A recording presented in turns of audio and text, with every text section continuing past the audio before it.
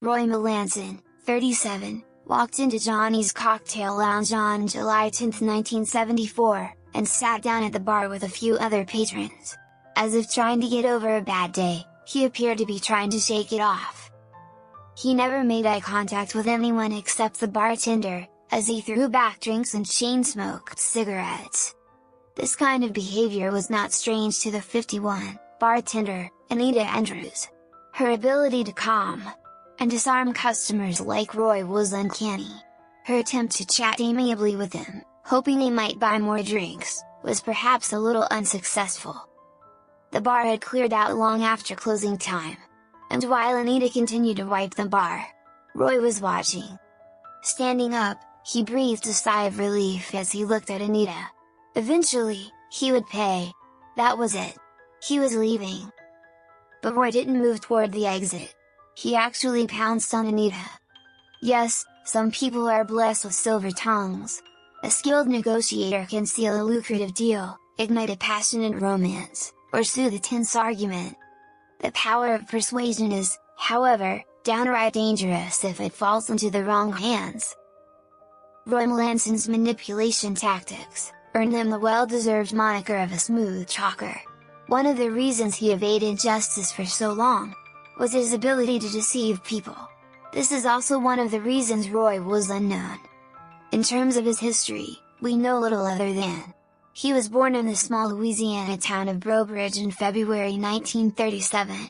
At some point, Roy plunged headfirst into the world of crime, and by the early 20s, he had already built the reputation of an experienced criminal. He pulled several scams, and was charged with burglary, forgery, and assault. However, by the time he was 25, Roy was no longer satisfied with petty crime.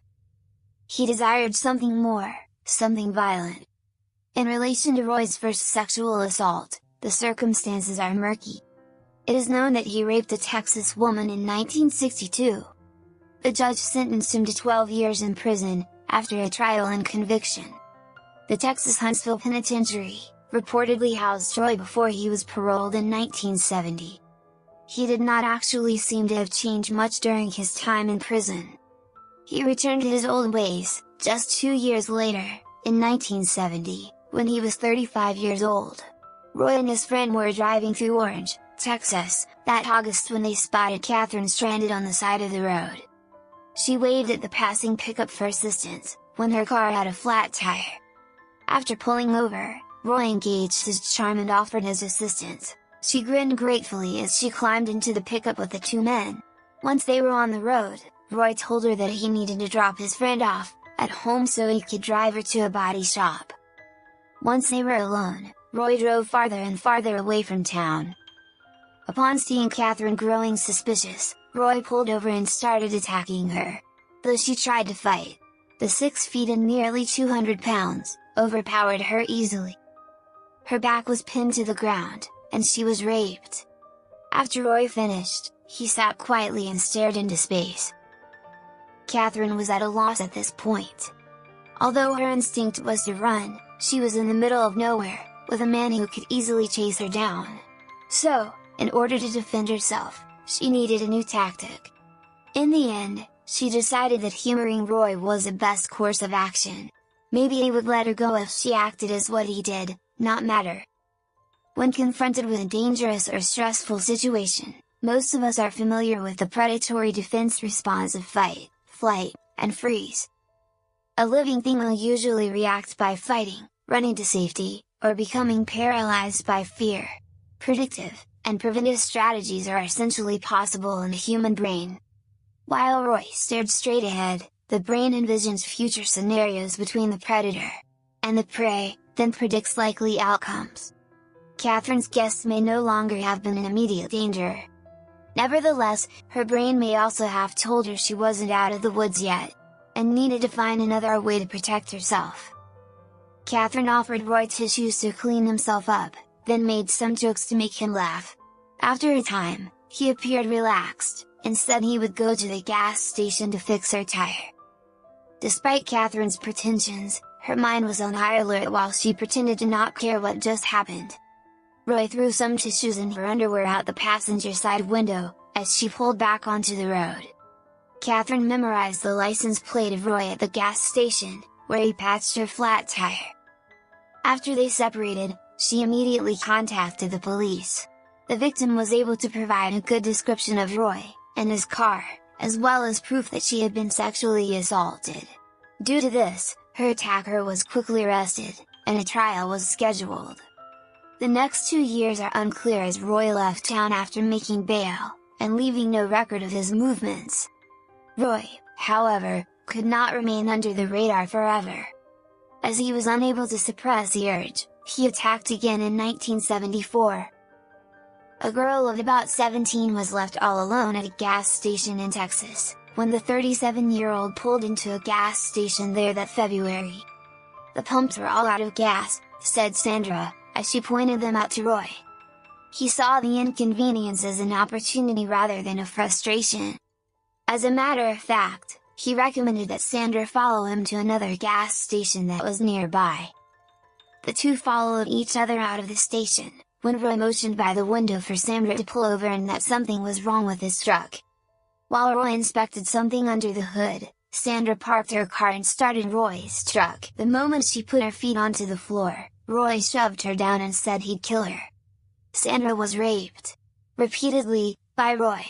As he climbed into the car beside her then drove to an empty field. He then blindfolded and gagged her, then took her somewhere else to swap cars. Then he crossed into Louisiana. Sandra was raped again in another secluded area, and he reiterated that he would kill her. If she told anyone about him. Days went by before the horrific event ended. Sandra eventually, adopted the same approach as Catherine. Roy cozied up to her, and assured that she would never report him. He may have believed her, or he may have just been done with her. Regardless of the reason, he finally let the teenager go. She used a payphone at a rest stop in Texas, to call her dad after he dropped her off. The authorities then demanded every detail Sandra could remember about Roy, including his license plate number and appearance. Sadly, Roy was already long gone, when police began their search for him. His restlessness, or the knowledge that he had to run made him run. He quickly distanced himself from East Texas by 2,000 miles. His search for another victim led him to the Napa Valley in California. Having raped two women in Texas, Roy Melanson was on the run by the summer of 1974. During that July, he traveled all the way to Northern California, and ended up in the Napa Valley. Nevertheless, Napa was not the popular tourist destination it is today. It was mostly farmed, with tasting rooms, and there were seedy bars. Roy walked into one of them on July 10th, which was run by two sisters, Muriel and Anita Andrews, who owned and operated for Johnny's. Both of them wanted to keep their father's bar going, but they weren't thrilled about it. Their nights were spent serving drinks to scared men in a bad part of town. Nevertheless, Muriel and Anita wanted to honor their father, by not closing up in his memory. Despite being offered to buy the bar, the sisters promised to keep it open for as long as possible. That night, 51-year-old Anita was serving drinks, when Roy walked in and took a seat at the bar. He guzzled drinks and chatted with her all night, ignoring the few other patrons. It seemed he was determined to keep a low profile, often concealing himself with clouds of smoke or obscuring his face. Roy was the last customer in the bar by 9.30. Anita wipes down the counters, while she waits for him to pay his tab and leave. However, Roy had no plans of leaving. He finally got up, and walked towards Anita. He stared coldly at her and strutted purposefully, causing her to instinctively back away. But it was already too late. Roy grabbed her. Anita tried to fight back, grasping at anything within her reach. Unfortunately, it was too late. Roy grabbed her, while her hands reached for anything she could grasp. As she attempted to resist, perhaps she could knock him unconscious or, at the very least, get him away from her. However, nothing worked. There was a big difference between Roy and Anita, in size. and strength. In the back room, he easily overpowered her and pulled her in. Roy was caught in the act when Anita threw bottles at him, their contents spilling out onto the cement floor. His punch shattered the glass, and knocked Anita to the ground.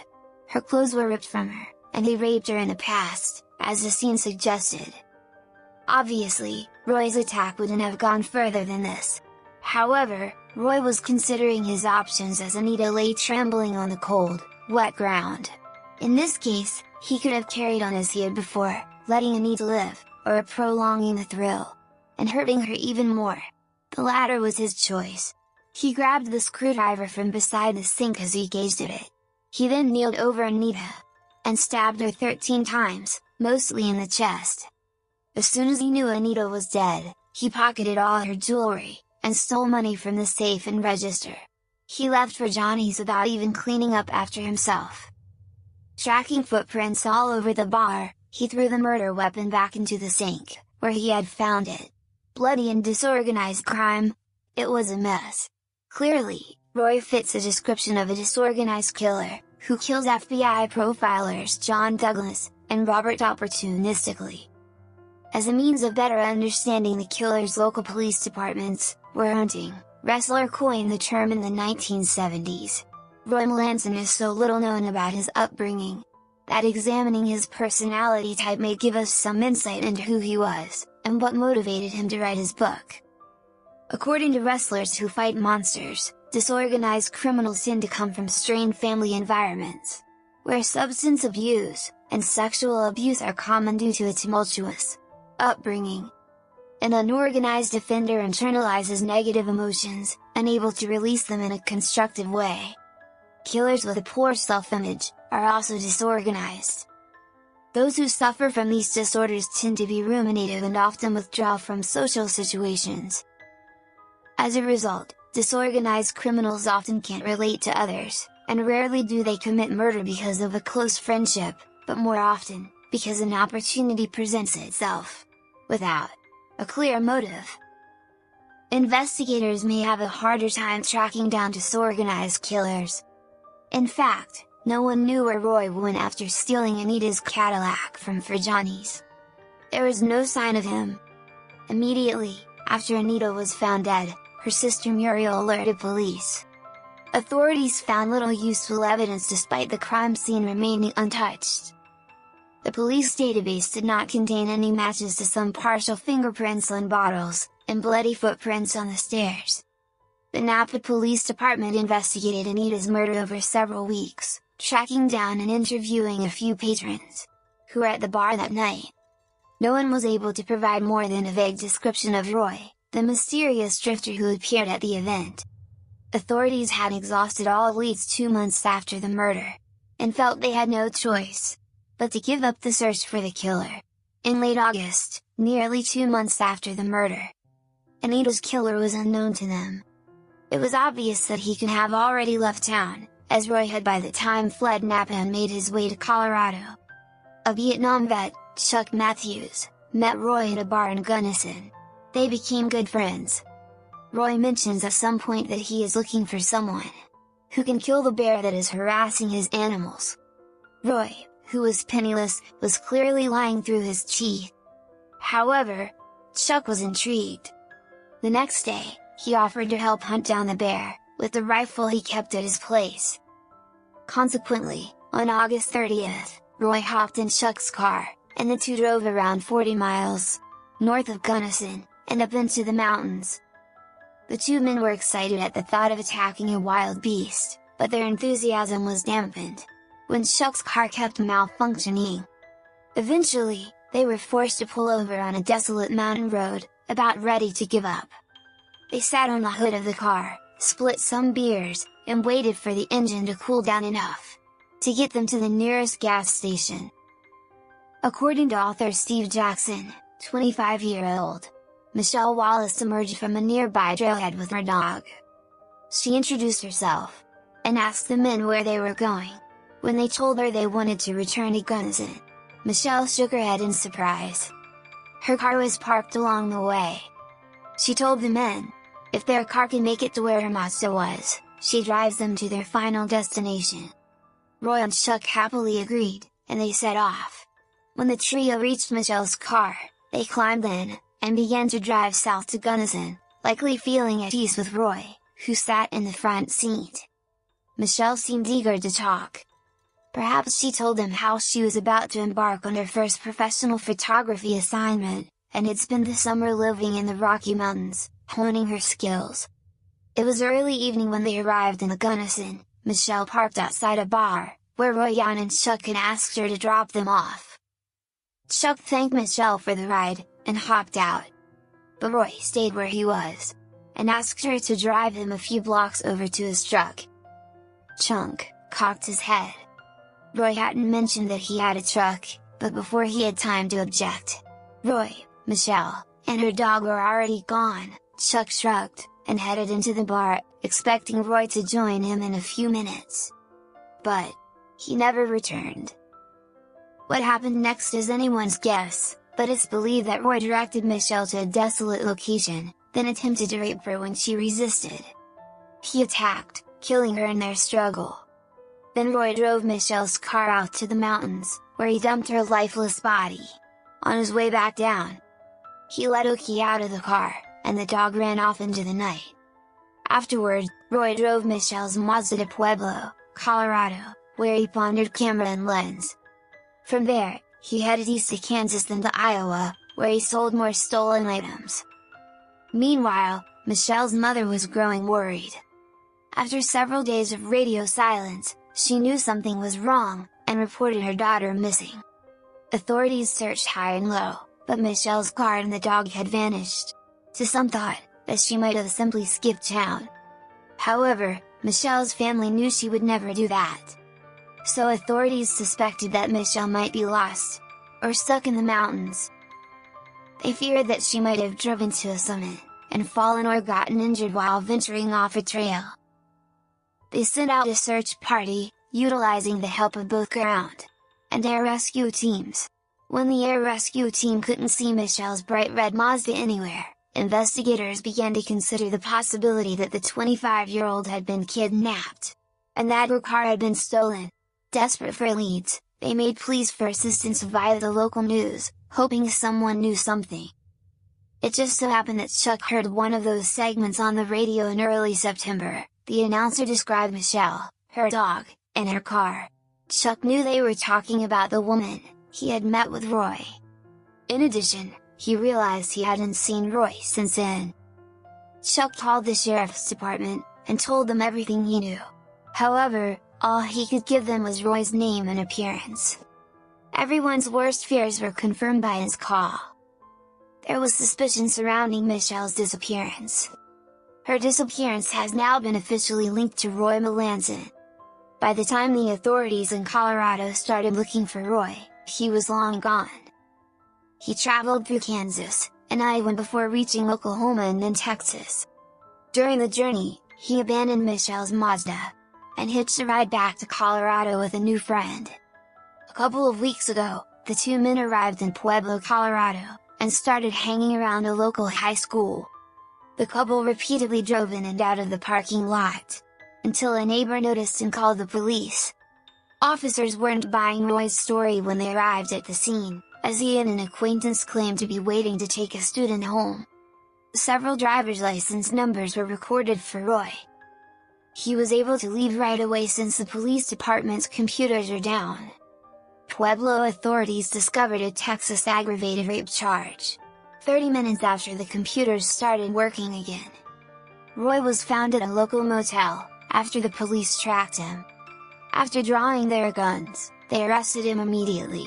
When the police searched the car, they found Michelle's backpack, her Mazda registration, and her driver's license. A set of Mazda car keys, were also found in Roy's cell at the jail, along with a ticket for a pawn shop in Pueblo. The detectives traced every lead they could find, including the pawn shop ticket they found in Roy's closet. There was still a camera in the shop that Michelle had to have. After developing, and examining the photographs, they had the film inside. Everything went according to plan. The photographs she took included breathtaking landscapes, Flora and her beloved dog. The last photo on the roll, however, was quite different, the photo was of Roy Melanson. The story of Roy seen over, but his situation remained uncertain. After being apprehended in Colorado, Roy Melanson was back in police custody in September of 1974. After being extradited to Texas, he was sentenced to life in prison for raping Sandra in 1974. Upon conviction, he received an automatic life sentence for being a habitual offender under Texas law. Roy was locked up. Michelle Wallace, 25, was still being investigated for her disappearance and possible murder. Despite his claim of innocence, Colorado authorities had more than enough circumstantial evidence to warrant suspicion. Even so, police did not have enough evidence to convict, without a body or a confession. In spite of the fact that Roy was believed to be responsible, the investigators continued their search to establish his guilt. However, authorities were still empty-handed after four long years. In search of the truth about what happened to Michelle, they had virtually given up. They finally got a break in the summer of 1979. While hiking the woods near Gunnison, Colorado, a hiker noticed something odd lying near the center of a forked trail. When he realized what he actually found himself looking at, he stumbled backward in shock. There were two braids tied around the scalp of a human. When the investigators arrived, they were surprised to see Michelle's hair color matched. However, DNA analysis was still years away, so investigators couldn't definitively determine whether the scalp was hers or not. If more remains turned up, police hoped they would be of assistance in identifying the body. Though, they were disappointed that they had hit another dead end, they did take comfort in knowing that their prime suspect, Roy Melanson, was still in prison and couldn't harm anyone else. When Roy wasn't brawling with the other prisoners in the Huntsville, Texas, penitentiary, he was working hard to change that. In the library, Roy studied the law and found flaws in his case. In order to reduce his life sentence to 33 years, he took advantage of a series of loopholes. In March 1988, Roy, 51, was released from prison after less than 13 years of serving time as a model inmate. In his first settlement, he lived with a former flame with her boyfriend in Port Arthur, Texas, about 150 miles southeast of Huntsville. His record was mostly clean, and he mostly kept himself to himself. However, all of that changed in the summer of 1988, when Pauline Klumb, 51, took over the apartment complex where Roy lives. On July 2nd, early in the morning. Seeing that Roy was the only one at home, she decided to stop by to get a TV. As they sat in the Texas heat, he led her inside and struck up a conversation with her. Hearing that Roy would be happy to take a look at her air conditioner, Pauline mentioned that she was having trouble with it. Pauline came to the house that very day to pick up the TV, and he transferred it to her car then met her in her place. Pauline was never seen again. Her car was discovered in a grocery store parking lot. The next day, with the TV still inside. Police on high alert decided not to pursue the case despite cooperating with Texas Rangers when Pauline disappeared. While this was going on, Roy stayed out of sight. After leaving the city, he reappeared in Walker, Louisiana, where he found his next victim. Roy saw a beautiful woman on a payphone at a laundromat in early August, as he passed by.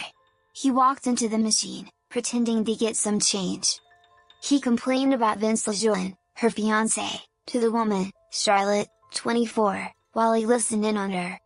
For their dream home, they needed to clean out and prepare the plot of land. Charlotte was frustrated by Vince's slow pace. Roy made his move as soon as she hung up. Charlotte smiled at him, and said he might be able to help her out. He claimed to be a developer, and would been able to clear out her property on the cheap. Charlotte was thrilled, and arranged to meet Roy the next day to show him around the site. Charlotte was getting ready for Roy's arrival in the afternoon of August 5th. A young woman meeting a stranger alone in the wilderness. Preparation is a good idea, she knew. Therefore, she let a few people know about the meeting, and even brought along the 380 Beretta handgun her fiancé had given her. When she reached the property, Roy smiled, but he did not wave back as she walked towards him, waving a big wave to him. After Charlotte got close enough to him, she could see why his hands remained behind his back and never waved back. As it appears from the scene, Roy tossed a rope over Charlotte's neck, pulling the slip knot tight, before she could scream. When Charlotte reached into her purse to get her gun, Roy yanked the bank off her shoulder, and threw it in the grass. Charlotte was then dragged into the woods by him. Roy raped and brutally beat the girl once he reached the secluded area. Then, he bent over and loosened the rope around Charlotte's neck, but he wasn't about to let her go. However, Roy produced a knife instead, and slashed her throat. After she died, he took her purse, stole the radio from her car, and fled the state. Thence, Charlotte's fiance, wondered where she was. When she didn't come home, he reported her missing, and authorities began searching for clues at the crime scene. They seemed to be in luck at first.